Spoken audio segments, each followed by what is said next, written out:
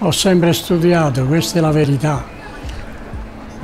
Ho sempre cercato di studiare, di studiare sempre nell'ambito della professione, delle attività, di tutto il resto della mia vita.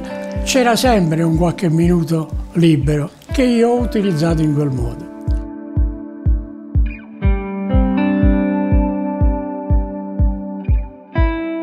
Mi sono iscritto in giurisprudenza e non è finita lì perché conclusa la laurea di giurisprudenza la parte letteraria è venuta subito dopo, fino ad arrivare poi alla quattordicesima che ho conseguito nel novembre scorso.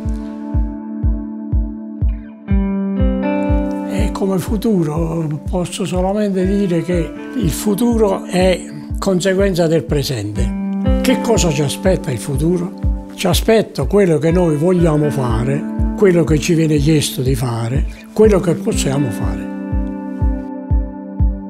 Per la verità io ho avuto tutto quello che, che meritavo.